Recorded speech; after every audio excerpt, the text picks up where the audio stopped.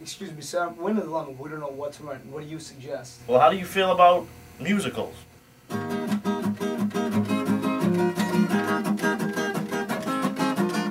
When I was a wee small lad, my daddy told me, son, one day you will grow up to be tall and handsome.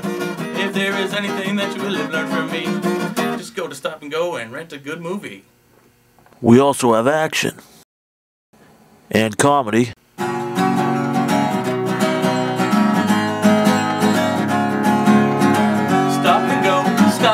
Stop-N-Go. They got